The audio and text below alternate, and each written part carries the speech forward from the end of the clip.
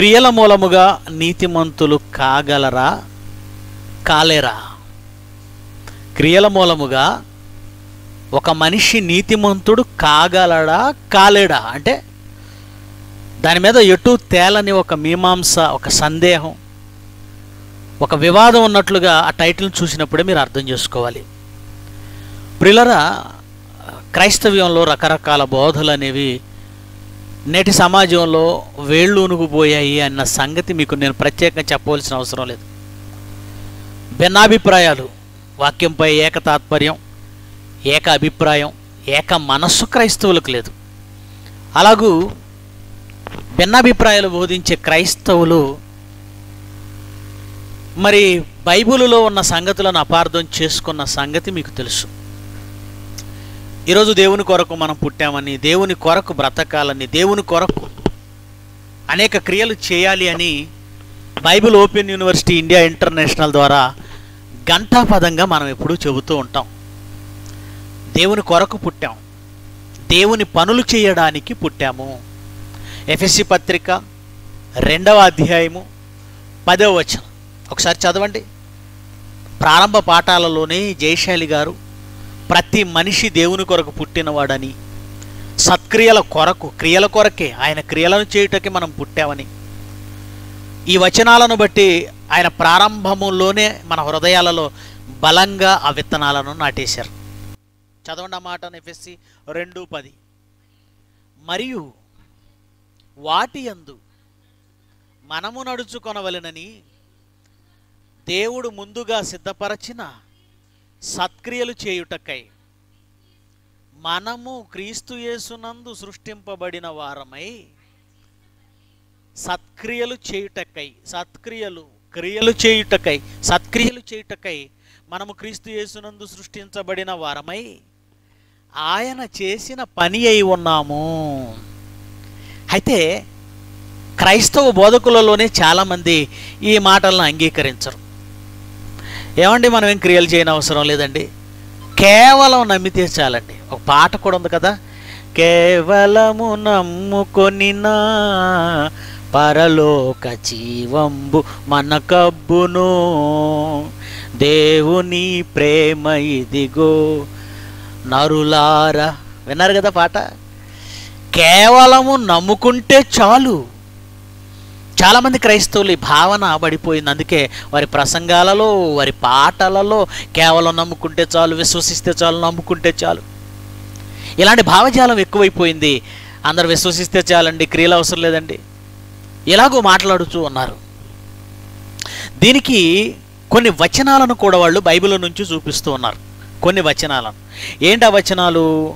రోమపత్రిక నాలుగవ అధ్యాయము రోమపత్రిక నాలుగో అధ్యాయము రెండవ వచనం. మొదటిగా చదువుదాం. రెండవ వచనం.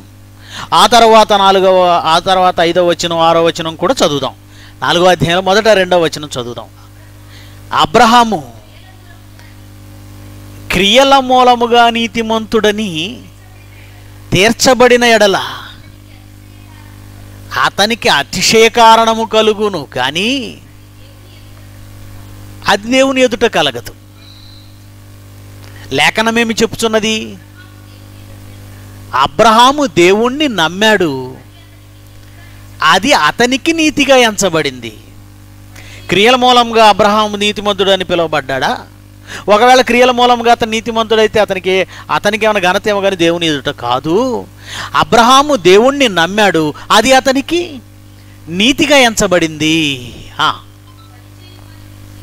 పనిచేయువానికి జీతము రుణమే గాని దానమని ఎంచబడదు. పనిచేయక బుద్ధిహీనుని నీతిమంతునిగా తీర్చువాని అందు విశ్వాసముంచువానికి వాని విశ్వాసము నీతిగా ఎంచబడుచున్నది. ఆ ప్రకారమే ఏమండి? దావిదన్న మాటను కోట్ చేస్తూ పౌలు గారు రోమపట్నంలో అంటున్నాడు రోమపత్రిక రాస్తూ అంటున్నాడు క్రియలు లేకుండా దేవుడు ఎవనిని నీతిమంతులుగా ఎంచునో ఆ మనుష్యుడు ధన్యుడని దావీదు కూడా చెప్పుచున్నాడు. ఏమండి? ఈ మాటలన్నీ చూస్తుంటే అబ్రహాము క్రియలు లేకుండా విశ్వాసమును బట్టి నీతిమంతుడిగా ఎంచబడ్డాడు. అబ్రహాము దేవుణ్ణి నమ్మాడు. అది అతనికి నీతిగా ఎంచబడింది. అంతేకాదు ఒకవేళ ఎవరైనా క్రియల మూలంగా నీతిమంతులైతే అది వారికి జీతమవుతుందే తప్ప దానం అవ్వదు కదా దేవుడు మనల్ని ఉచిమ ఉచితంగా నీతిమంతుల్ని చేసేసాడు. నమ్మితే చాలు అన్న మాటలు ఇక్కడ క్లియర్గా కనబడుతున్నాయి. పైగా దావీదు కూడా అన్నాడట క్రియలు లేకుండా ఏ మనుష్యుడు దేవుని వల్ల నీతిమంతుడిగా ఎంచబడిన ఆ మనుష్యుడు ధన్యుడు అని వ్రాయి వ్రాసేసాడట. ఆ వచనాన్ని కూడా కోట్ చేస్తున్నాడు. అంతేకాదు ఎఫ్ఎస్సి పత్రిక రెండో అధ్యాయము ఎనిమిది తొమ్మిది వచనాలు చదువుదాం. ఎఫ్ఎస్సి పత్రిక రెండో అధ్యాయము ఎనిమిది తొమ్మిది వచనాలు. మీరు విశ్వాసము ద్వారా కృపచేతనే రక్షింపబడి ఉన్నారు. ఇది మీ వలన కలిగినది కాదు. దేవుని వరమే. అది క్రియల వలన కలిగినది కాదు. అది క్రియల వలన కలిగినది కాదు గనక ఎవడను అతిశయింప వీలు లేదు. ఏమండి ఈ మాటలన్నీ చూస్తున్నప్పుడు క్రియల వలన ఎవడు నీతిమంతుడు కాలేడు? క్రియల వలన అబ్రహాం నీతిమంతుడు కాలేదు. కేవలం నమ్మితే అయ్యాడు. నమ్మడం వలన నీతిమంతులు అవుతారే తప్ప క్రియల వలన కాదు. చివరికి దావీదు కూడా ఏమన్నాడు? క్రియలు లేకుండా ఏ మనుషుడు నీతిమంతుడు అనబడతాడో ఆ మనుష్యుడు ధన్యుడని రాస్తూ ఉన్నాడు. ఇవన్నీ మనం చూస్తున్నప్పుడు మరి క్రియలు అవసరమా? క్రియలతో నీతిమంతులు అవుతారా? క్రియల మూలంగా నీతిమంతులు అవుతారా? అన్న సందేహం మనకు రాక తప్పదు. ఇకపోతే ప్రియమైన దేవుని పిల్లలారా పూర్తిగా ఈ మాటలకు ఏ మాటలకి ఇప్పటి వరకు మనం రోమా పత్రికలో నాలుగో అధ్యాయంలో రెండు మూడు నాలుగు ఐదు ఆరు వచనాలలోను అలాగే ఎఫ్ఎస్సి పత్రిక రెండో అధ్యాయం ఎనిమిది తొమ్మిది వచనాలలోను మాట్లాడుకున్న వ్రాసుకున్న ఈ మాటలకి పూర్తి వ్యతిరేకంగా మరొక వచనం బైబిల్లో మనకి కనబడుతుంది. అదేమిటంటే యాకోబు పత్రిక రెండవ అధ్యాయము పద్నాలుగు నుంచి చదువుదాం. యాకోబు పత్రిక ఏమండి? పౌలు గారు చెప్పిన మాటలకు మరి పూర్తి విరుద్ధంగా కనబడుతున్నట్లుగా ఈ మాట ఉంటుంది. పద్నాలుగో వచనం నుంచి చదువుదాం. యాకోబు పత్రిక రెండో అధ్యాయము పద్నాలుగో వచనం నుంచి. నా సహోదరులారా క్రియలు లేనప్పుడు ఎవడైనను తనకు విశ్వాసము కలదని చెప్పిన ఎడల ఏమి ప్రయోజనము? అట్టి విశ్వాసం అతనిని రక్షింపగలదా? అంటే క్రియలు లేనప్పుడు విశ్వాసం రక్షింపగలుగుతుందా? సహోదరుడైనను సహోదరి అయినను దిగంబరులై ఆనాటికి భోజనం లేక ఉన్నప్పుడు మీలో ఎవడును శరీరమునకు కావలసిన వాటిని ఇయ్యక. ఏమంటే అంటే క్రియ చేయకుండా సమాధానంగా వెళ్ళుడి చలి కాచుకొనుడి తృప్తి పొందుడి అని చెప్పిన ఎడల ఏమి ప్రయోజనం? అన్నాడు. ఇది చూసిన ఏమండి ఇక్కడ రాస్తున్న ఈ మాట చదివితే నిజమే అనిపిస్తుంది. ఏమండి? సహోదరుల్లో ఎవరైనా దిగంబరుడిగా ఉండి ఆనాటికి భోజనం లేకుండా ఉంటే సమాధానంగా వెళ్ళండి శరీరాన్ని కాచుకోండి చలి కాచుకోండి తృప్తి పొందండి అని చెబితే ఏంటి ప్రయోజనం? అంటే తన సహోదరుడు ఆకలితో ఉన్న దిగంబరిగా ఉన్న అతనికి కావలసిన వస్త్రాలు ఇవ్వాలే తప్ప వస్త్రాలు ఇస్తే నీతి అవుతుందా? క్రియ ఉండాలి అక్కడ. క్రియ ఉండాలి కానీ కేవలం అతనికి ఆ మాట సలహా ఇస్తే సరిపోతుందా అని యాకోబు గారు అడుగుతున్నారు. ఇంకా ఏమంటున్నారు చూడండి. అలాగే విశ్వాసము క్రియలు లేనిదైతే అది ఒంటిగా ఉండి మృతమైనదగును. క్రియలు లేకపోతే విశ్వాసం చచ్చిపోయినదే అంటున్నాడు. రోమపత్రికలో పౌలు అంటే క్రియలు లేకుండా అబ్రహాము నీతిమంతుడిగా పిలువబడ్డాడు అంటున్నాడు. ఏమండి? ఏది రైటు? ఇంకా చదువుదాం ఇంకా చదువుదాం. ఇంకా చదువుదాం. అయితే ఒకడు పద్దెనిమిదో వచ్చిన కంటిన్యూ చేయండి. అయితే ఒకడు నీకు విశ్వాసం ఉన్నది నాకు క్రియలు ఉన్నవి క్రియలు లేకుండా నీ విశ్వాసం నాకు కనబరుచు నేను క్రి నేను నా క్రియల చేత నా విశ్వాసం నీకు కనబడుతున్నదని చెప్పును. ఏమండి దేవుడు ఒక్కడే నీవు నమ్ముచున్నావు? అలాగ నమ్ముట మంచిదే. దయ్యములు నమ్మి అడుగుచున్నవి వ్యర్థుడా? క్రియలు లేని విశ్వాసము నిష్ఫలమైనదని తెలుసుకొనగోరుచున్నావా? మన పితరుడైన అబ్రహాము తన కుమారుడైన ఇస్సాకును బలిపీఠం మీద అర్పించినప్పుడు అతడు క్రియల వలన నీతిమంతుడని తీర్పు పొందలేదా? ఏమండి? అక్కడేమో అబ్రహాము క్రియలు లేకుండా నమ్మకంతోనే నీతిమంతుడని తీర్పు పొందాడని చెబుతున్నాడు. ఇక్కడికి వచ్చేసరికి అతడు క్రియల వల్ల నీతిమంతుడని తీర్పు పొందలేదా అంటున్నాడు. చూసారా ఇంతకీ ఈ రెండు సందర్భాలు మనం చూస్తే అబ్రహాము క్రియల వల్ల నీతిమంతుడు అనబడ్డా క్రియల వల్ల నీతిమంతుడు అవుతాడా ఒక మనిషి? అబ్రహాము ఇక్కడ సందర్భంలో అబ్రహాము క్రియల వల్ల నీతిమంతుడయ్యాడా? కేవలం నమ్మడం వలన నీతిమంతుడయ్యాడా? చూసారా ఎంత కాంట్రవర్సీగా ఉందో? ప్రిలరా కొన్ని రోజులుగా ఇలాంటి కాంట్రవర్సీలనే చక్కగా విభజించి వివరించి దేనికది చక్కగా విడమర్చి మనం నేర్చుకోగలుగుతున్న వాక్యాన్ని. ఎందుకు? క్రైస్తవులు ఇలాంటివన్నీ కూడా పట్టి పట్టి పట్టి ఇలాంటివి కొన్ని ఉన్నాయని కూడా గుర్తించలేని గుడ్డితనంలో క్రైస్తవులు ఉన్నారు వాస్తవానికి నాస్తిక హేతువాదులు అడిగిన ప్రశ్న ఇది క్రియలు లేకుండా అబ్రహాం నీతిమంతుడయ్యాడని పౌలంటాడు. క్రియల వలన అబ్రహాము నీతిమంతుడని తీర్పు పొందలేదని యాకోబ్ అంటాడు. ఇంతకీ క్రియల వలన నీతిమంతులు అవుతారా క్రియల వలన నీతిమంతులు కాలేరా? ఏది రైట్? ఏది రైటు? ఏది మనం రైట్ అనుకోవాలి? చూసారా మనకు కూడా చాలా కన్ఫ్యూజన్ అయిపోయింది. అధిక ప్రేమైన దేవుని పిల్లలరా దీనిని బట్టి చాలామంది నాస్తికులైన వారు హేతువాదులైన వారు ఇలాంటి ప్రశ్నలు ఇలాంటి ఒకదానికొకటి భిన్నమైన రెండు సందర్భాలను చూసుకొని పూర్తిగా దేవుడు ఒక చోట చెప్పిన దానికి పూర్తిగా విరుద్ధంగా మరో చోట చెప్తున్నాడు. ఇలాంటి బైబిల్ని ఎలా నమ్మాలి? ఇలాంటి గ్రంథం దైవ గ్రంథం అని ఎలా నిర్ణయించుకోవాలి? అని ప్రశ్నిస్తున్నారు. మరి అలాంటప్పుడు క్రైస్తవ బోధకునిగా సమాధానం చెప్పవలసిన బాధ్యత బోధకులైన వారికి ఉంది. నా మీద ఉంది జయశైల్ గారి మీద ఉంది మీ మీద ఉంది ప్రతి ఒక్క క్రైస్తవుడి మీద ఉంది. ఆలోచన చేద్దాం. ఇంతకీ ఏది సమంజసం? ఏది సమంజసం? ఏమండి? రోమపత్రిక ఇంకా కొన్ని వచనాలను మనం చూద్దాం. తొమ్మిదవ అధ్యాయము. రోమపత్రిక తొమ్మిదవ అధ్యాయము. ముప్పై రెండవ వచనాలకు ముప్పై రెండవ వచనం కూడా చదువుదాం. రోమపత్రిక తొమ్మిదవ అధ్యాయము. ఆ. వారు విశ్వాసమూలముగా కాక ఎవరు ఇస్రాయేలీలు? వారు విశ్వాసమూలముగా కాక క్రియల మూలముగానైనట్టు దానిని వెంటాడిరి. ఇదిగో ఏమండి? అలాగే అంటే వాళ్ళు క్రియల మూలముగా వెంటాడడం తప్పు అన్నట్లుగా ఈ వచనంలో పౌలు గారు మాట్లాడుతూ ఉన్నారు. అలాగే పదకొండో అధ్యాయం ఆరో వచనం కూడా చదవండి. పదకొండో అధ్యాయము ఆరో వచనం. అది కృపచేత అయిన ఎడల ఏకను క్రియల మూలమైనది కాదు. ఒక మనిషి రక్షించబడడం కృప మూలమైన ఎడల క్రియల మూలమైనది కాదు అంటున్నాడు. రైట్ ఇప్పుడు మనం ఆలోచన చేద్దాం. ఏది రైటు ఏది అబద్ధం ఏది నిజం ఏది అబద్ధం? దేనిని మనం స్వీకరించాలి దేన్ని పక్కన పెట్టాలి? అని ఆలోచిస్తే పిల్లరా బైబిలులో దేవుడు మాటలాడిన ఏ మాటలలో కూడా అబద్ధాలు లేవు. దేవుడు వ్రాయించిన బైబిలులో దేవుడు వ్రాయించిన ఏ ఒక్క మాట కూడా తీసివేయడానికి వీల్లేదు. ఖచ్చితంగా రెండు రైటే. ఖచ్చితంగా రెండు రైటే. ఇంకా ఆలోచిస్తే ఒకవేళ క్రియలు అనవసరం క్రియలు వద్దు క్రియల వలన ఎవడు నీతిమంతుడు కాడు అనుకుంటే ఏమండి బైబిలులో ఎన్ని చోట్ల క్రియలు చేయమని దేవుడు చెబుతూ ఉన్నాడు? ఏమండి? అపోస్తుల కార్యాలు ఇరవై ఆరో అధ్యాయము. అపోస్తుల కార్యాలు ఇరవై ఆరో అధ్యాయము. ఇరవయో వచనం మరియు ఇరవై ఎనిమిదో వచనం చదవండి. అపోస్తుల కార్యాలు ఇరవై ఆరో అధ్యాయము ఇరవయో వచనం ఇరవై ఎనిమిదో వచన. మొదట దమస్కులోనికి వారికిని ఆ, యోదయ దేశమందంతటను తర్వాత అన్ని జనులకు వారు మారు మనసు పొంది దేవుని తట్టు తిరిగి ఏ- ఏ- ఏం చేయాలంటున్నారట?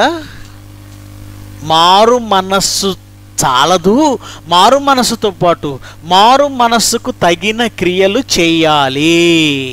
ఏం చేయాలట? మారు మనసుకు తగిన క్రియలు ఉండాలి అని ప్రకటించుచున్నాడు. తగిన క్రియలు. అలాగే అపోస్తుల కార్యాలు తొమ్మిదో అధ్యాయం ముప్పై ఆరో వచనం చూడండి. అపోస్తుల కార్యాలు తొమ్మిదో అధ్యాయం ముప్పై ఆరు. మరియు ఎప్పేలో తబితను ఒక శిష్యురాలు ఉంది ఆమెకు భాషాంతరమున దోర్క అని పేరు. ఆమె సత్క్రియలను ధర్మకార్యములను బహుగా బహుగా ఎక్కువగా బహుగా చేసిందట. సత్క్రియలు బహుగా చేసిందట. ఏమండి? వారు మనసుకు తగిన క్రియలు ఉండాలని పౌలు చెబుతున్నాడు. అలాగే ఒక దోర్కా గురించి వ్రాస్తూ లోక గారు చెబుతున్నారు. ఆమె సత్క్రియలు బహుగా చేసిందట. అలాగే తిమోతి గారికి పౌలు గారే రాస్తూ మొదటి తిమోతి ఆరో అధ్యాయం పంతొమ్మిదో వచనం. మొదటి తిమోతి ఆరో అధ్యాయము పంతొమ్మిదో వచనం. వారు వాస్తవమైన జీవమును సంపాదించుకొను నిమిత్తం రాబోవు కాలమునకు మంచి పునాది తమ కొరకు వేసికొనుచు మేలు చేయువారును అది ఏ ఏ ధనం కావాలట? సత్క్రియలను ధనము కావాలి ఉండాలి. సత్క్రియలను ధనము గలవారును. ఔదార్యము గలవారునై. తమ ధనములో ఏ ధనములో? సత్క్రియలను ధనములో. ఇతరులకు కూడా పాలిచ్చేవారు. అంటే వారు క్రియలు చేయాలి ఆ క్రియలలో ఇతర వారికి ఇతరులకు కూడా అవకాశం ఇవ్వాలి. తమ సత్క్రియలలో ఇతర ఇతరులకు పాలిచ్చేవారై ఉండాలి భాగం ఇచ్చేవారై ఉండాలి. ఇకపోతే సాక్షాత్తు యేసుక్రీస్తు అన్న మాట చూద్దాం. యోహాను సువార్త తొమ్మిదో అధ్యాయం నాలుగో వచ్చనం యోహాను సువార్త తొమ్మిదో అధ్యాయము నాలుగో వచ్చనం పగలున్నంత వరకు నన్ను పంపిన వాని క్రియలు మనము అన్నాడు. అంటే నేనే కాదు మీరు కూడా. ఇక్కడ సాక్షాత్ యేసుక్రీస్తు ఏమంటున్నాడు? పగలున్నంత వరకు నన్ను నన్ను పంపాడే ఎవరైనా మీ తండ్రి నా తండ్రి. ఈ సర్వాన్ని సృష్టించిన సృష్టికర్త తండ్రి అయిన దేవుడు. యహోవా అని మనం అంటున్నాం. నన్ను పంపిన వాని క్రియలు మనము చేయాలి. మనము చెయ్యాలి. మత్తయి పదకొండో అధ్యాయం పంతొమ్మిది చూడండి. మత్తయి పదకొండో అధ్యాయం పంతొమ్మిది. మనుష్య కుమారుడు తినుచు త్రాగుచును వచ్చెను గనక. ఇదిగో వీడు తిండిపోతూ మద్యపాని సుంకర్లకు పాపులకు స్నేహితుడని వారు అనుచున్నారు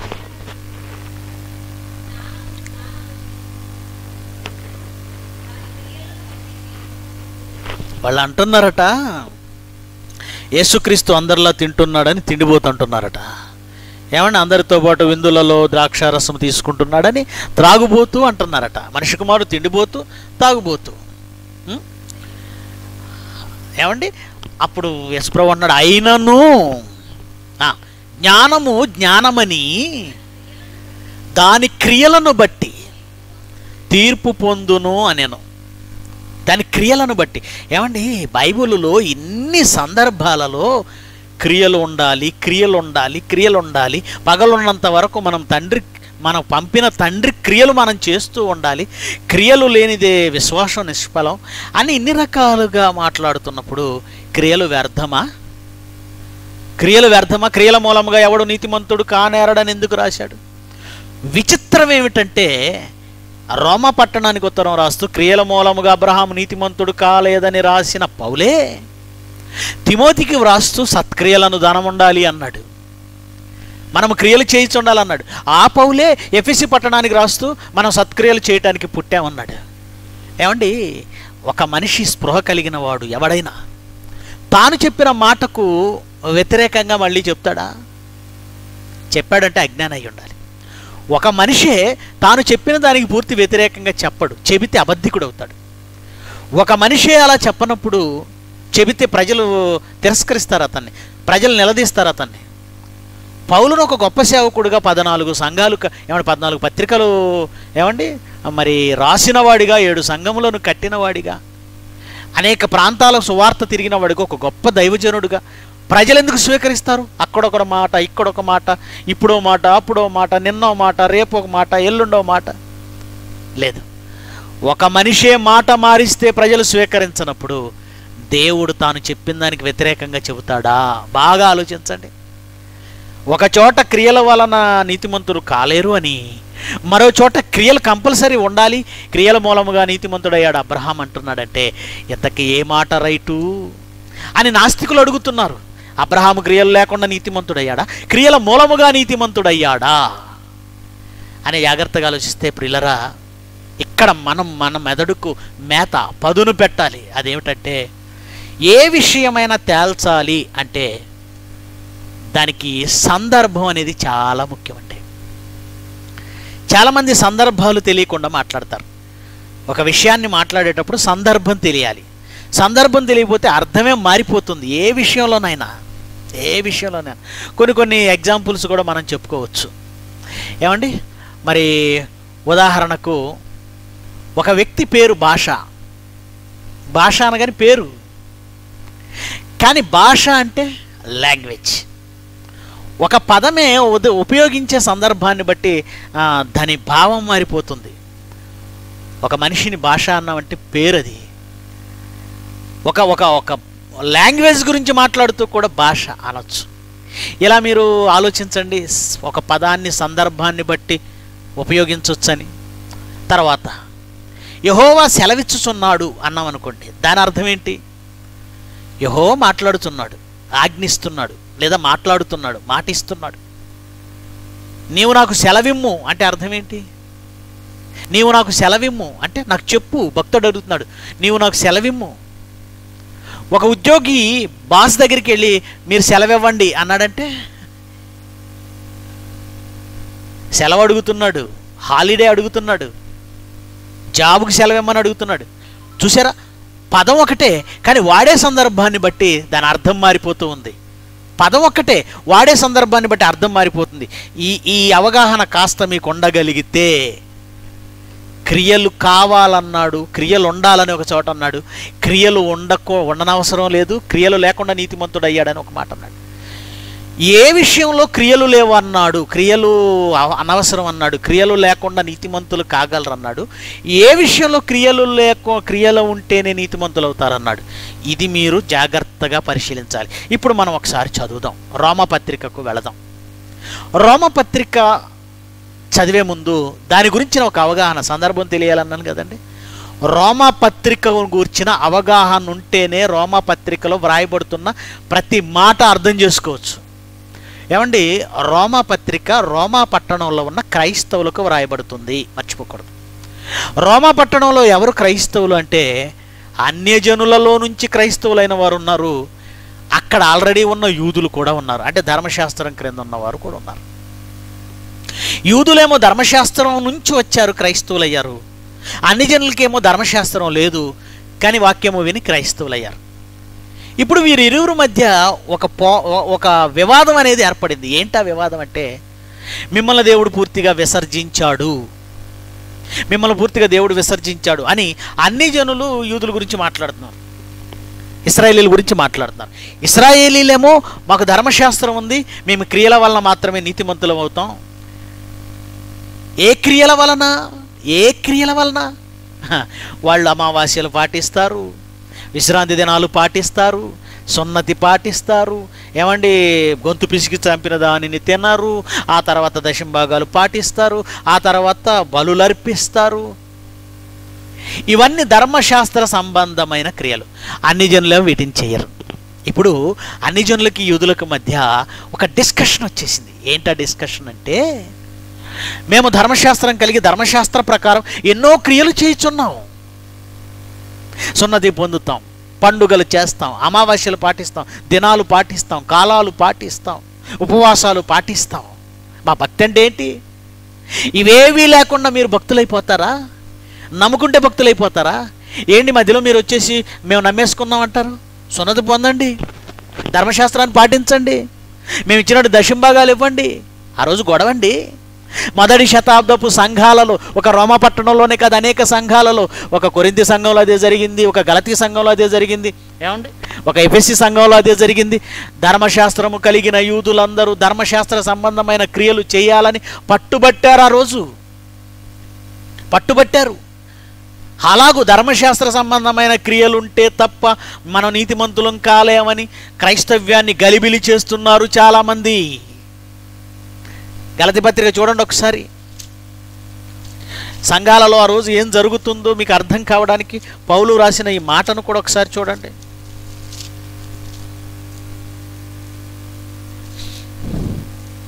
గలతి పత్రిక రెండవ అధ్యాయము నాలుగవ వచనం నుంచి. మనలను దాసులుగా చేసుకొనవలెనని క్రీస్తు యేసు వలన మనకు కలిగిన స్వాతంత్ర్యమును వేగు చూచుటకు ఆ రహస్యముగా తేబడి దొంగతనంగా ప్రవేశించిన కపట సహోదరుల వలన జరిగినది. సువార్త సత్యం మీ మధ్య నిలుచున్నట్లు మేము వారికి ఒక్క గడి అయిన లోబరుటకు ఒప్పుకోలేదు. ఎందుకంటే వాళ్ళు ఏమని బలవంత పెట్టారో రెండవ వచనం చెబుతున్నాడు. రెండవ వచనం నుంచి దేవదర్శనం ప్రకారం మేము ఎరుషులేం వెళ్ళాము అపోస్తలను కలిశాము. మరియు నా ప్రయాసం వ్యర్థమైపోయేనేమో డౌట్ వచ్చిందండి పౌలుకి. ఏంటి నేను ఒక ప్రక్క యేసుక్రీస్తు కృపను గూర్చి ప్రకటిస్తుంటే కృప అంటే? ఇదిగో ధర్మశాస్త్రం సంబంధమైన క్రియలు అనేవి అవసరం లేదు ఈరోజు ధర్మశాస్త్రం అవసరం లేదు. క్రీస్తు కృపను బట్టి మీరంతా నీతిమంతులుగా తీర్చబడుతున్నారు. యేసుక్రీస్తు రక్తంతో నీతిమంతులయ్యారని పౌలు అన్ని జనులలో ప్రకటిస్తూ వెళుతుంటే ఒక ప్రక్క యూదులు గలిబిలి రేపి ధర్మశాస్త్ర సంబంధమైన క్రియలు లేకపోతే ఎవడు నీతిమంతుడు కాలేడని ఒక వివాదం అనేది సృష్టించినప్పుడు వాళ్ళ విషయమై మాట్లాడడానికి అపస్తుల కార్యాలు పదిహేను అధ్యాయం చదువుకోండి. అందరూ కలిసి అపస్తుల దగ్గర ఆ, పెద్దలైనటువంటి పేతురు యోహాను యాకోబు వీళ్ళ వీళ్ళ దగ్గరికి వెళ్ళారండి వాళ్ళు. పౌలు వెళ్ళాడు. పౌలుతో పాటు బర్ణబాబు వెళ్ళాడు. ఆ రోజు డిస్కషన్ జరిగింది. దాని గురించి చెప్తున్నాడు. చదవండి. నాతో కూడా రెండవ వచనం రెండో అధ్యాయం గలతి పత్రిక రెండో అధ్యాయం రెండో వచనం దేవదర్శనం ప్రకారమే వెళ్ళి తిని మరియు నా ప్రయాసము వ్యర్థమై వ్యర్థమవునేమో? లేక ఆల్రెడీ వ్యర్థమైపోయిందో? నేను అన్ని జనులలో ప్రకటించుచున్న సువార్తను వారికి ప్రత్యేకముగా ఎన్నికైన వారికి అంటే అపోస్తలకు నేను విషిదపరిచాను. అన్ని జనులలో నేను ఎలా సువార్త ప్రకటిస్తున్నాను? విషిదపరిచితిని అయినను. నాతో కూడానున్న తీతు గ్రీసు దేశస్థుడైనను. అతడు సున్నతి పొందుటకు బలవంత పెట్టబడలేదు. అంటే అపోస్తుల దగ్గరికి వెళ్ళినప్పుడు నాతో పాటు గ్రీసు దేశస్థుడైన సున్నతి లేని తీతొచ్చాడు. తీతెవరు? గ్రీసు దేశస్థుడు నాతో వచ్చాడు. అక్కడ అంతమంది అపోస్తలున్నా అతడు సున్నతి పొందాలని వాళ్ళల్లో ఎవ్వరు మమ్మల్ని బలవంత పెట్టలేదు. నువ్వు సున్నతి పొంది మా దగ్గరికి రా అని తీతును ఎవరు అనలేదు. అపోస్తల్ని అనలేదు కానీ ఎవడు మీ దగ్గరికి వచ్చాడు? అని ఏమండి వాళ్ళ గురించి మాట్లాడుతూ ఎనిమిదో వచ్చిన ఏడో వచనంలో అంటున్నారు. మొదటి అధ్యాయం ఏడో వచనం. మొదటి అధ్యాయం ఏడో వచనం. అది మరి ఒక సువార్త కాదు కానీ క్రీస్తు సువార్తను చెరపగోరి మిమ్మల్ని కలవరపరుచువారు? కొందరున్నారు. అంటే ఈ ధర్మశాస్త్రం కలిగిన యూదులు ఈ పిచ్చి కలిగిన వాళ్ళు ధర్మశాస్త్ర సంబంధమైన క్రియలు చేస్తేనే నీతిమంతులమవుతాం. లేకపోతే కాలేం అని మొదటి శతాబ్దపు సంఘంపై ఒత్తిడి తీసుకొస్తున్న టైంలో ఆ సందర్భంలో పౌలు మాట్లాడుతూ నాయనా ధర్మశాస్త్ర సంబంధమైన క్రియల వల్ల నీతిమంతులవుతారని నువ్వు అంటున్నావు. అబ్రహామును ఒకసారి జ్ఞాపకం చేసుకో. అబ్రహాం ఉన్నప్పుడు ధర్మశాస్త్రం ఉందా? అని అడుగుతున్నాడు. అది రోమపత్రికలో వ్రాయబడిన సందర్భం. ఏమండి? ఇప్పుడు మీరు చదవండి మీకు అర్థమవుతుంది. రోమపత్రిక నాలుగవ అధ్యాయము ఆ రెండవ వచనం నుంచి. ఏమండి? అబ్రహాము క్రియల మూలముగా నీతిమంతుడని తీర్చబడ్డాడు గదా. అబ్రహాము క్రియల క్రియము క్రియల మూలముగాని నీతిమంతుడిని తీర్చబడిన ఎడల అతనికి అతిశయ కారణము కలుగును. ఒకవేళ అతడు క్రియల మూలముగా ఒకవేళ నీతిమంతుడైతే అతనికి అతిశయ కారణం కలుగుతుంది. కానీ అది దేవుని ఎదుట కలగదు. చదవండి. లేఖనమేమి చెప్పుచున్నది? అబ్రహాము దేవుణ్ణి నమ్మాడు. అది అతనికి నీతిగా నమ్మడం నీతిగా ఎంచబడింది. ఏమంటే అబ్రహాం ఉన్నప్పుడు ధర్మశాస్త్రం ఉందా? అబ్రహాము తర్వాత ఇస్సాకు ఇస్సాకు తర్వాత యాకోబు యాకోబు తర్వాత పన్నెండు గోత్రికులు. ఆ గోత్రికులు విస్తరించిన తర్వాత ఐగుప్తు దేశం నుంచి నాలుగు వందల సంవత్సరాల తర్వాత కదండి. ఇసాకు క్షమించండి యాకోబు డెబ్బది మందితో ఐగుప్తు దేశానికి వెళ్ళి అక్కడ నాలుగు వందల సంవత్సరాలు బానిసత్వం అనుభవించిన తర్వాత మోషే పుట్టాడు మోషేని పంపాడు. అక్కడ నుంచి నలభై సంవత్సరాల పాటు ధర్మశాస్త్రాన్ని రాయించాడు. ఎంత గ్యాప్ ఉందండి? అబ్రహాంకి ధర్మశాస్త్రానికి ఎంత గ్యాప్ ఉంది? చాలా గ్యాప్ ఉంది. అలాగే గలతి క్షమించండి అంతేనండి. నాలుగవ అధ్యాయము గలతి పత్రిక గలతి పత్రిక. మూడో అధ్యాయం చూద్దాం. గలతి పత్రిక మూడో అధ్యాయము. గలతి పత్రిక మూడో అధ్యాయము. పదిహేడవ వచ్చిన చదువుదాం. పదిహేడు. నేను చెప్పున్నదేమనగా అది నాలుగు వందల ముప్పై సంవత్సరాలైన తర్వాత వచ్చిన ధర్మశాస్త్రం వాగ్దానమును అది అబ్రహాం తర్వాత ఇస్సాకు ఇస్సాకు తర్వాత యాకోబు. యాకోబు తర్వాత నాలుగు వందల ముప్పై సంవత్సరాలకు వచ్చింది ధర్మశాస్త్రం. యాకోబు తర్వాత వాళ్ళకు వాగ్దానాలు చేయబడిన తర్వాత నాలుగు వందల ముప్పై సంవత్సరాల తర్వాత వచ్చింది. ఇప్పుడు ఏమంటున్నాడు చూడండి. నాలుగు వందల సంవత్సరం ముప్పది సంవత్సరాల తర్వాత వచ్చిన ధర్మశాస్త్రం వాగ్దానమును నిరర్ధకం చేయనంతగా పూర్వమందు దేవుని చేత స్థిరపరచబడిన నిబంధనను కొట్టివేయబడదు కొట్టివేయదు కొట్టివేయదు. గనుక ప్రియమైన దేవుని పిల్లలరా ఏమంటున్నాడో తెలుసా? అబ్రహాము ధర్మశాస్త్రం లేనప్పుడున్నాడు. ధర్మశాస్త్రం అబ్రహాం ఉన్నప్పుడు లేదు. మరి అబ్రహాము నీతిమంతుడు ఎలా అయ్యాడు? గనుక ధర్మశాస్త్ర సంబంధమైన క్రియలు ఉన్నాయే అవి లేకపోయినా ఒక మనిషి నీతిమంతుడు కాగలడు. నమ్మడం వలన నీతిమంతుడు కాగలడు. ధర్మశాస్త్ర సంబంధమైన క్రియలు వద్దన్నాడు. జాగ్రత్తగా వినాలి. ఇక్కడ ఏ క్రియల గురించి మాట్లాడుతున్నాడో పర్టికులర్గా మీరు వినాలి. క్రియలు అనగానే అన్నిటిని ఒకే గాట కట్టేయకండి. క్రియలు అనగానే ఒకటే క్రియలా? క్రియలు అంటే ఒకటేనా? ఒక చోట క్రియలు కావాలన్నాడు ఒక చోట క్రియలు వద్దన్నాడు. వద్దన్న క్రియలు ఏ క్రియలు? ఏ క్రియలు లేకుండా నీతిమంతులు అవుతారు? ఏ క్రియలు లేకుండా నీతిమంతులు అవ్వరు? ఈ డిఫరెన్స్ తెలియాలి. ఎందుకంటే సద్బోధకు మంచి బోధకుడు ఎలా ఉండాలి? క్రీస్తు యేసు ఎదుట లేదంటే దేవుని ఎదుట సిగ్గుపడనక్కర్లేని పనివాడు సత్యవాక్యమును సరిగా ఉపదేశించువాడు క్రియలు లేకుండా నీతిమంతుడయ్యాడని చెప్పిన చోట ఏ క్రియలు లేకుండా నీతిమంతుడయ్యాడు అబ్రహాం? అసలు మాట్లాడుతున్న సందర్భం ఏది? ధర్మశాస్త్ర సంబంధమైన క్రియల గురించి మాట్లాడుతున్న సందర్భం. పదే పదే మళ్ళీ చదవండి. రోమపత్రిక చదవండి. ఏ క్రియల గురించి మాట్లాడుతున్నాడు? అబ్రహాముకి ఏ క్రియలు లేవు? ఏ క్రియలు లేవు? ధర్మశాస్త్రం చెప్పిన క్రియలు ఉన్నాయా? ధర్మశాస్త్రం ఉందా అప్పుడు? ఆ? ధర్మశాస్త్రం ఉందా? ధర్మశాస్త్రం ఉందా లేదు. ఇసాకు పుట్టిన తర్వాత ఎనిమిదో దినాన సున్నతి పొందాడండి. తాను కూడా. అప్పటి వరకు దేవుడు అబ్రహాం నీతిమంతుడిగా నేయించాడు. ఇస్సాకు పుట్టిన తర్వాత క్షమించండి ఇష్మాయేలు. ఎనిమిదవ దినాన తన కుమారునితో పాటు సున్నతి పొందాడు. ఏమండి అబ్రహాముని దేవుడు నీతిమంతుడిగా ఎప్పుడో ఇచ్చాడు కదా సున్నతి ఇంకా పొందకముందే ధర్మశాస్త్రం అసలు రాకముందే. అంటే ఏ క్రియలు లేకుండా నీతిమంతుడయ్యాడు అబ్రహాము? ధర్మశాస్త్ర సంబంధమైన క్రియలు. ధర్మశాస్త్ర సంబంధమైన క్రియలు. ఇప్పుడు చదవండి వాక్యంలో ఏముందో? రోమాపత్రిక మూడో అధ్యాయం ఇరవై వచనం. రోమాపత్రిక మూడో అధ్యాయం ఇరవై వచనం. ఎలా అనగా ధర్మశాస్త్ర సంబంధమైన క్రియల మూలముగా ఏ మనుష్యుడును ఆయన దృష్టికి అది ఇంతకీ అక్కడ చెబుతున్న క్రియలు ఏ క్రియలు అన్నమాట ధర్మశాస్త్ర సంబంధమైన క్రియలు ఆచారాలు శరీర సంబంధమైన ఎన్నో ఆచారాలు ఎన్నో క్రియలు ఉన్నాయి కదండి వాళ్ళకి. వాటి గురించి అవి వద్దంటున్నాడు అవి వృధా అంటున్నాడు. అవి లేకుండా అబ్రహాం నీతిమంతుడయ్యాడు అంటున్నాడు. మరలా మరలా చదవండి ఆ మాటని. ధర్మశాస్త్ర సంబంధమైన క్రియల మూలముగా ఏ మనుష్యుడు ఆయన దృష్టికి నీతిమంతుడని తీర్పు తీర్చబడ్డు? ఏ మనుష్యుడు నీతిమంతుడని తీర్పు తీర్చబడాడు? అలాగే గలతి రెండు పదహారు పది పదిహేను పదహారు చదవండి. గలతి పత్రిక రెండో అధ్యాయము. ఏమండి? గలతి పత్రిక రెండో అధ్యాయం పదిహేను పదహారు. మనము జన్మము వలన యూదులమే గాని అన్ని జనంలో చేరిన పాపులము కాము.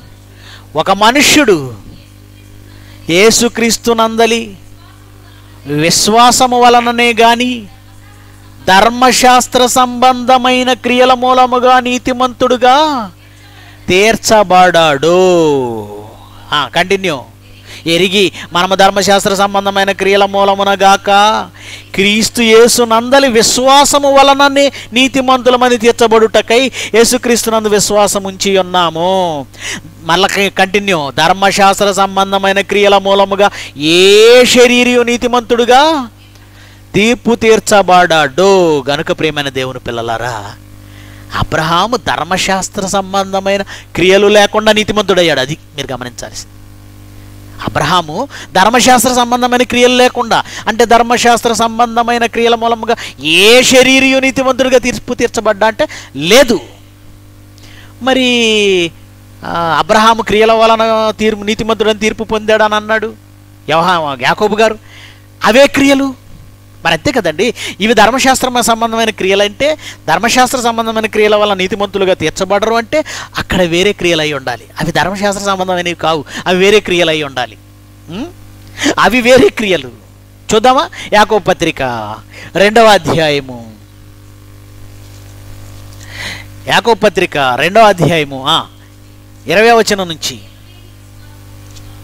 పంతొమ్మిది ఇరవై వచనాలు. ఆ, దేవుడు ఒక్కడే అని నీవు నమ్ముచున్నావు అలాగూ నమ్మటం మంచిదే. ఏమండి? దేవుణ్ణి నమ్మొచ్చు. నమ్మడం మంచిదే.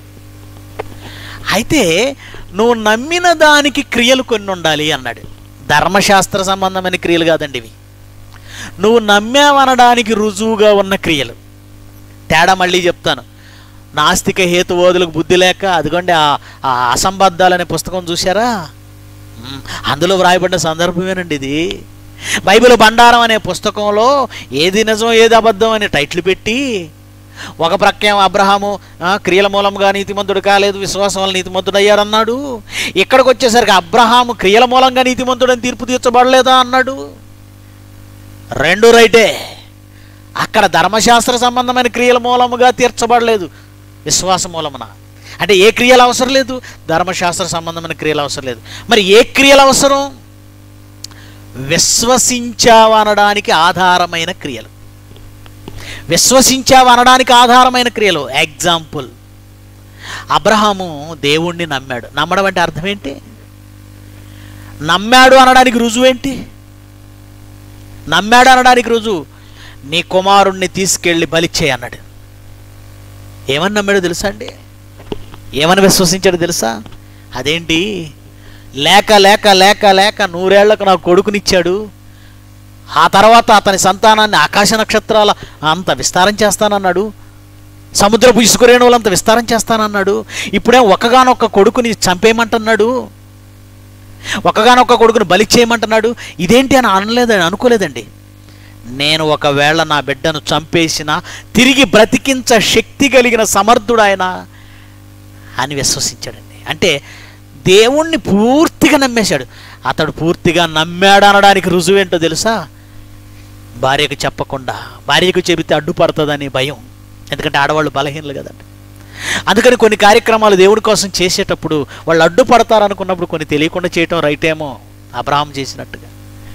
కొడుకుని చంపడానికి తల్లి ఒప్పుకోదు కదండి. అందుకని మరి భార్యకి చెప్పకుండా ఉదయాన్నే బయలుదేరిపోయి ఏమండి? పని వాళ్ళని వెంట పెట్టుకుని గాడిదను వెంట పెట్టుకొని నిప్పు పట్టుకొని కత్తి పట్టుకొని. చూపించిన కొండ దగ్గరికి వెళ్ళాడు. పని వాళ్ళని కిందే ఉండమన్నాడు. కట్టెలు పట్టుకున్నాడు నిప్పు పట్టుకున్నాడు బయలుదేరాడు.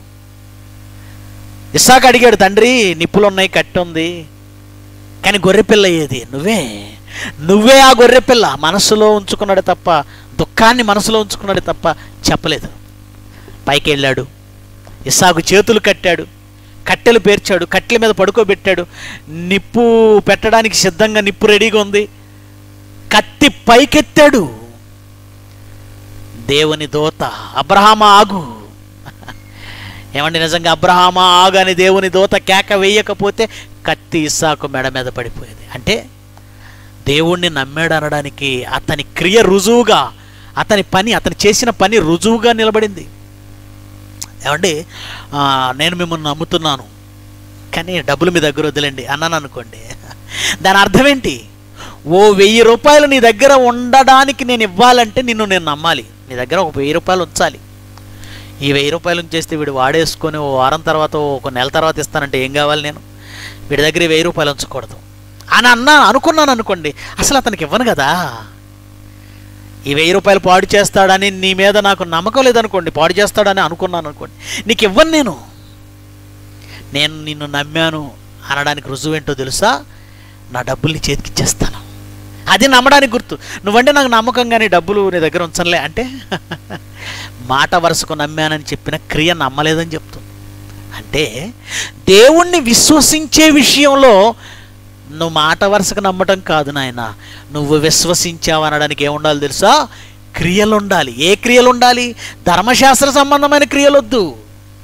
విశ్వాసానికి సంబంధించిన క్రియ. విశ్వాసానికి సంబంధించిన క్రియ. ఏంటి ఆ క్రియ? ఏంటి ఆ క్రియ? దేవుని కోసం బ్రతికితే పరలోకం ఇస్తాడు. దేవుని కోసం బ్రతికితే నమ్మేవా? నమ్మాను. బాప్తిజం తీసుకున్నాను. దేవుణ్ణి నమ్మాను. నమ్మితే ఏం చేయాలో తెలుసా? నేను చెప్పిందైనా చేయాలి. నేను చెప్పిందన్నీ చేయాలి. నేను చెప్పినవన్నీ చేయాలి. దేవుని కోసం ఈ భూమి మీద బ్రతుకుతున్నప్పుడు ఎన్ని కోల్పోవాలో తెలుసా? తల్లినైనను తండ్రినైనను ఇండ్లనైనను భూములనైనను భార్యలైనను పిల్లలనైనను విడిచిపెట్టని వాడు నాకు పాత్రుడు కాడు అన్నాడు. ఏమండి? ఇవన్నీ విడిచిపెడితే పరలోకం ఇస్తాడా? ఇస్తాడు. భార్య కంటే ఎక్కువగా దేవుణ్ణి ప్రేమించాలట. పిల్లల కంటే ఎక్కువగా దేవుణ్ణి ప్రేమించాలట. అంటే భార్య దేవుని పని అంటే దేవుని పనిలోకి ముందుకు రావాలి. పిల్లలా దేవుని పని అంటే దేవుని పనే ముందుకు రావాలి. ఇల్లా దేవుని పని అంటే దేవుని పనే ముందుకు రావాలి. ఆ? చాలామంది ఈరోజు దేవుని వాక్యము తెలిసిన వారు కూడా దీని విషయంలో దేవుని పని అని ముందు దేవుని పని పెట్టలేకపోతున్నారు. క్రియ క్రియ లేదు. ప్రసంగాలు ఎదుటి వాళ్ళు చేయమంటే దంచేస్తారు.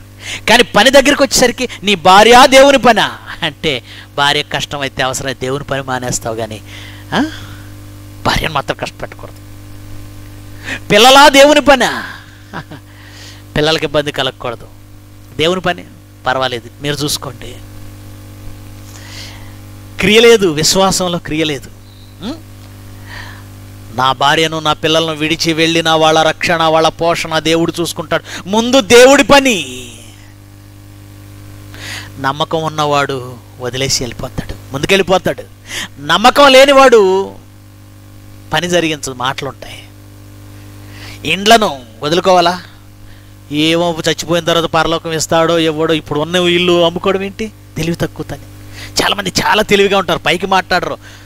ప్రసంగాలు చెప్తే సూపర్ అంటారు. అవసరమైతే వాళ్ళు ప్రసంగాలు దంచేస్తూ ఉంటారు. అవసరమైనప్పుడు ఉన్నవి అమ్మాలంటే కనబడకుండా పోతారు.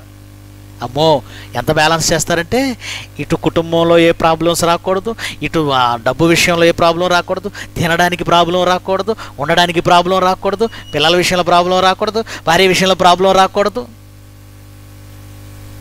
ఇది కాదు. అన్నింటినీ వదులుకొని దేవుని కోసం నిలబడితే దేవుడు పరలోకం ఇస్తాడు. నమ్మిన వాడివైతే నిజంగానే వదిలేసుకుంటావు. మొదటి శతాబ్దంలో ఉన్న క్రైస్తవులు హెబ్రి పట్టణస్థులట ఏం చేశారో చదవండి. ఏం చేశారో చూడండి. హెబ్రి పత్రిక. హెబ్రి పత్రిక పదవ అధ్యాయము. పదవ అధ్యాయము. ముప్పై మూడవ వచనం నుంచి చదువుదాం. హెబ్రి పత్రిక పదవ అధ్యాయం ముప్పై మూడు నుంచి. ఒక విధంగా చూచితే మీరు నిందలను బాధలను అనుభవించుట చేత. పది మందిలో ఆరళ్ళు పడి తిరిగి ఆరడి ఆరడి. మా అత్త ఆరళ్ళు పెట్టేస్తుందండి అంటారు. మా అత్త ఆరళ్ళు పెట్టడం కాదు క్రైస్తవులు మొదటి శతాబ్దం క్రైస్తవులు ఆరడి పడ్డారట. ఒక విధముగా చూచితే మీరు నిందలను బాధలను అనుభవించుట చేత- చేత పది మందిలో ఆరడి పడి మరో విధంగా చూచితే వాటిని అనుభవించిన వాటితో పాలివారైతిరి ఎలా అనగా మీరు ఖైదులో ఉన్నవారిని కరుణించి మీకు మరి శ్రేష్టమైనది స్థిరమైనది నైన స్వాస్థ్యం ఉన్నదని ఎరిగి ఎక్కడా? ఎక్కడా? పరలోకం ఉంది పరలోకంలో నాకు ఒక స్వాస్థ్యం ఉంది అని తెలుసుకొని మీ మీ ఆస్తి కోల్పోవుటకు సంతోషంగా ఒప్పుకున్నారు. క్రియండి అక్కడ ఉందన్న నమ్మకం కలిగింది ఇక్కడ ఉన్నదాన్ని నమ్మేశారు. అక్కడ ఉందన్న నమ్మకానికి రుజువేంటి? ఇక్కడ ఉన్నదాన్ని నమ్మాడు దేవుని కోసం. ఖైదులో ఉన్న వారిని కరుణించటం కోసం. పాపం అనే దాస్యత్వంలో ఉన్నవారిని విడిపించటం కోసం. అంటే నువ్వు దేవుణ్ణి నమ్మావు ఆయన మాటను నమ్మావు ఆయన కోసం అన్నీ కోల్పోతే పరలోకంలో అన్నీ సంపాదిస్తావు అని చెప్పాడు. ఇక్కడ కోల్పోతే అక్కడ సంపాదించుకుంటావని చెప్పాడు. ఆయన మాటను నువ్వు నమ్మావనడానికి రుజువు. ఇక్కడ కోల్పో. ఇక్కడ కోల్పో. దేవుడి కోసం అమ్మేయి దేవుడి కోసం ఇచ్చేయి దేవుడి కోసం భార్య పిల్లలను పక్కన పెట్టేయి. పనిలో రా. అంటే క్రియ రూపంలో కనబడలేదు అది. క్రియ రూపంలో లేదు. క్రియ రూపంలో లేదు. ఇది క్రియ ఈ క్రియలు ఉండాలన్నాడు. అబ్రహాము క్రియలను బట్టే అబ్రహాము నువ్వు వెరుగని దేశానికి నడిపిస్తాను. బయలుదేరంటే మాట మారు మాట లేదండి. మారు మాట లేదు. లేచాడు సర్దుకున్నాడు భార్యను తీసుకున్నాడు బయలుదేరాడు. పని పని ఆయన నమ్మాడు పని చేసాడు నమ్మాడు పని చేసి నమ్మితే పని చేస్తాం. ఏ పని? ధర్మశాస్త్ర సంబంధమైన పని కాదండి. ధర్మశాస్త్ర సంబంధమైన క్రియల మూలంగా ఎవడు నీతిమంతుడు కాడు అబ్రహాం కూడా ధర్మశాస్త్ర సంబంధమైన క్రియలను బట్టి కాదు. మరి ఏ క్రియలను బట్టి? నీ విశ్వాసానికి క్రియలు ఉంటాయి అవి వేరే. నువ్వు నమ్మేవనడానికి క్రియలు ఉంటాయి రుజువులు ఉంటాయి నువ్వు దేవుణ్ణి నమ్మితే నీ బ్రతుకు కాలంలో సత్క్రియలు సువార్త సువార్త సువార్త సువార్త సువార్త నీ శ్వాస సువార్త నీ ఆశ సువార్త నీ బ్రతుకు ఊపిరి సువార్త దేవుని పని సువార్త నా జీవితంలో అందరిలాగా సంతోషంగా. ఏమండి ఆ ప్రపంచంలో అన్ని లొకేషన్స్ చూడాలి ఆ పిక్నిక్లకు వెళ్ళాలి విహారయాత్రలకు వెళ్ళాలి అనుభవించాలి సినిమాలు చూడాలి సరదాగా గడపాలి జీవితాన్ని ఎంజాయ్ చేయాలి ఇది తినాలి అది త్రాగాలి అందరిలా ఈ భూమి మీద బ్రతకాలన్న ఆలోచనలు చాలామందికి ఉండవండి. ఎందుకంటే వాక్యం విన్న వాళ్ళకి వాక్యం విన్న వాళ్ళకి అలాగో వాటితో జీవితాన్ని వ్యర్థం చేసుకుంటే ఎక్కడ నరకానికి వెళ్ళిపోతామో అని ఎక్కడ పరలోకాన్ని కోల్పోతామని తమకు ఈ భూమి మీద ఏవి లాభకరములో తమకు ఏవి సంతోషాన్ని ఇస్తాయో వాటన్నిటిని పెంటగా ఎంచుకొని ఎవరు ముందుకెళుతున్నారో? వారి క్రియలు చూపిస్తున్నారు. వాళ్ళ నమ్మకాన్ని క్రియల రూపంలో చూపిస్తున్నారు. వీడేంటి అన్నీ వదిలేస్తాడు. సి- ఒక సినిమాకి రాడు ఒక షికారికి రాడు సరదాగా వెళదామంటే రాడు అందరితో కలిసి ఎంజాయ్ చేయడు. ఏ? ఇవన్నీ చేస్తే నరకం వెళ్ళ నరకానికి వెళ్ళిపోతామేమో ఇవన్నీ కోల్పోయి దేవుని పని మాత్రమే చేస్తూ వెళితే పరలోకం వెళ్ళిపోతాయి. ఆ పరలోకం ఉందో లేదో ఈ భూమి మీద ఉన్న జీవితాన్ని ఎందుకు వ్యర్థపరచుకోవాలి?